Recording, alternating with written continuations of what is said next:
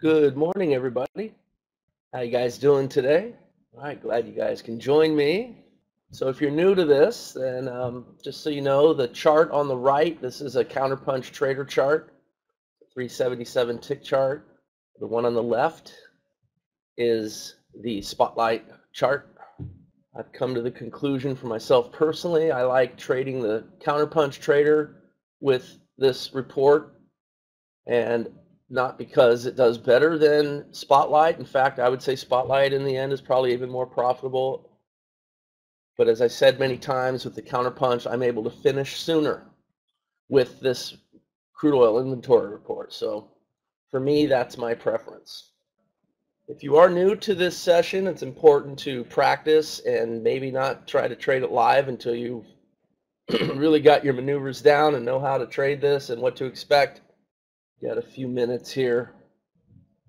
So remember, we're going to wait our two minutes as we typically do, and then look for the first fresh setup. See the report coming out here any second. There it is. So you can see on the momentum bar with uh, Spotlight, a splat of bars, just a zillion bars, just because it's based on price, action, and range. The tick chart, of course, based on order flow and trades. So it's completely different. We'll go ahead and mark this upper boundary here. And here's the lower boundary of the reaction. Let's see if it's going to break through. It did. We have another minute to go, less than a minute. Trade to watch at the moment is uh, long at 48.67. Still not ready to take it. Probably get another setup before then, usually. We're right back up into the middle of the range here and hitting the money management level on the white trade. So now we'll just have to wait for a fresh setup. All right, so there's the two minutes. Now we're just waiting. Got a purple short, and that's at uh, 73. So the first trade is a short at 73. Stop is 93, and the target Order is 51 filled. and 30. Good size trade. And it did trigger in. stuck right in the middle there. So you got to swing high there at 93. You may want to put your stop one tick above that at 94. It might make a difference. Hopefully here it capitulates and starts breaking lower. So now you do have a stop in reverse. That would also be at 94. Order and filled. it did stab through to 94. That one will be targeting 08. Actually, the uh, 11 is the target. 49.11 and 49. 19. Let's see if it could break through the range and start moving.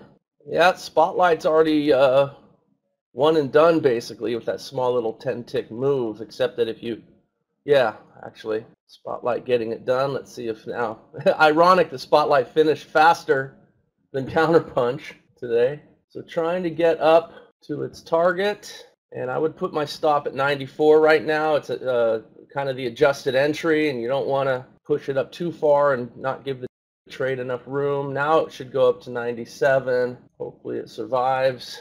It could just Orders burst through. filled. 98 is really the stop, but it stopped out. So unfortunately missing its target there and now we have to take another trade and that's a short 48.93. That one's targeting 76 and 69 with a stop at 11 not the greatest price action here. You can just see a lot of backfilling and no follow through, and it's kind of in the middle of the range again, near the upper side, but still in the middle of it.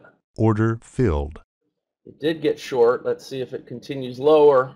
Money management is at target one, and it just hit money management again. Hopefully it survives and pushes through. Failure to get higher maybe leads to a nice move lower, but so far Nothing but backfilling and no real follow through. Patience. Can it get through? Order filled. There it is. So finally a target one. Can it get to target two? Or target three, I mean, that Order was target filled. two. So hitting target three as well. and now move your stop. 4886. So if you're trading to target two and to target three, you should have achieved power of quitting barely but power of quitting nonetheless. If you're still trailing, you have the chance of more. And you can see uh, Spotlight's done very well with a couple winners in a row. Now the stop moving lower, 48.81. The new stop will be at 76, and there it is. And still in there. We get another push lower. And it stopped out. Well, for me, that's all she wrote.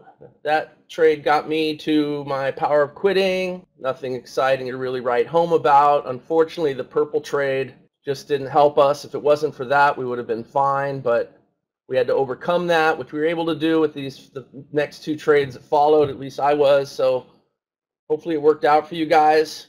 If you're trading Spotlight, you should have done very well. And if you're trading unleaded gas, you would have done very well because that one was another winner. Quickly flip over to that and show you. Unleaded gas, this is an optional trade. This would be a, a master suite trade, so you don't necessarily need to count that one if you're not using that setup. But this one would have been your first Spotlight setup, which was great. Just hit target three and still going. And that's a really nice profitable move on unleaded gas. $4.20 a tick, and that's 84 ticks to target two, and 112 ticks target three, and still trailing. An excellent trade. And, you know, as I always point out, Spotlight's really good at catching those V-shaped reversals, as you can see it did here in this setup. So that one's still going. But that's all she wrote, guys. I know that unusual to have a crude oil report on Friday. It's just, you know, you hardly ever see it. Guess it has to be at the end of the year when New Year's and Christmas are both in the middle of the week. But uh, next week, we should be right back to normal schedule. Wednesday, crude oil report time again. And, uh, well, hope you guys did okay with this session.